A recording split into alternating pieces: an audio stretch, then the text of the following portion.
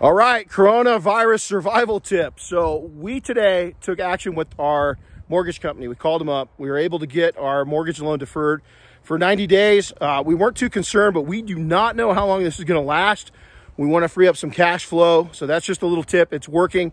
The second thing we did is we did the exact same thing with our auto loans. So give them a call on the auto loan side. They're doing 30 or 60 days with extensions as needed. So take some steps, put some cash in your pocket. Don't kill yourself right now.